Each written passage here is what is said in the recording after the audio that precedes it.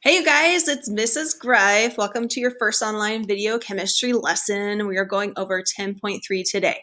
Now here's how these video lessons are gonna work. You need to watch this video twice. It's short, you can do it. Watch it how many times? Twice.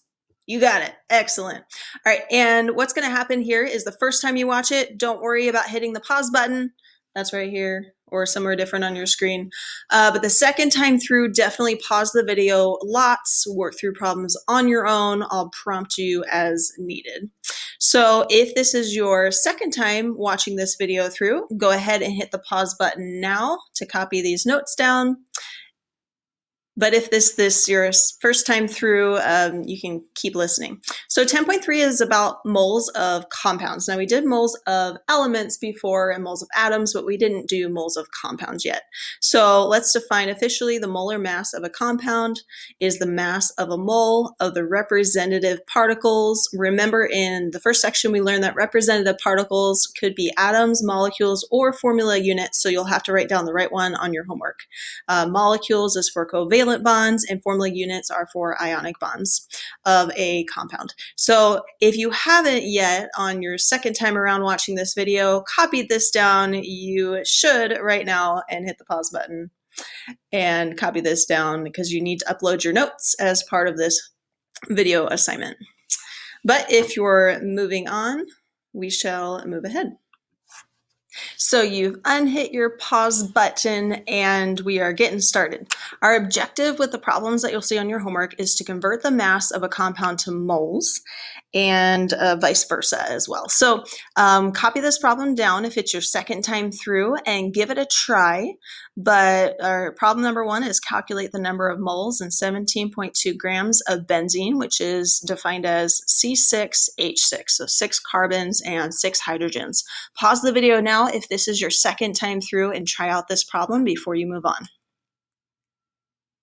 And if you have unpaused at this point, or if this is your first time through the video, we shall move along.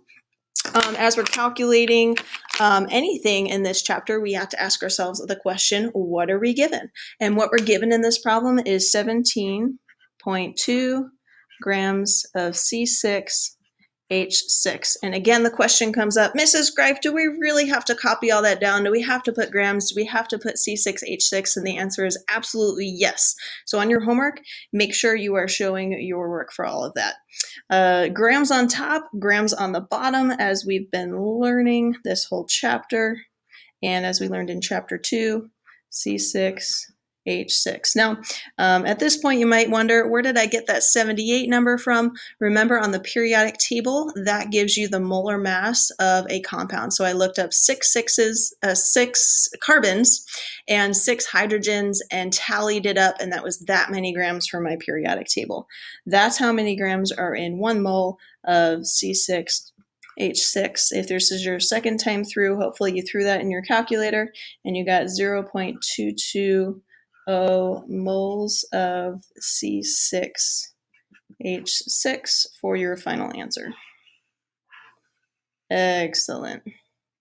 If this part right here threw you off at all, uh, calculating the molar mass, go ahead and make sure you turned in that uh, number 14 worksheet that was um, due last week if you didn't make it to class last week.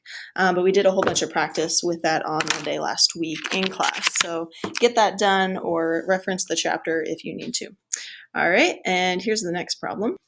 And here's the next problem. So if this is your second time through watching the video, go ahead and push your pause button, copy this down, and try this problem out on your own first, and then unpause, and I will uh, walk you through it again.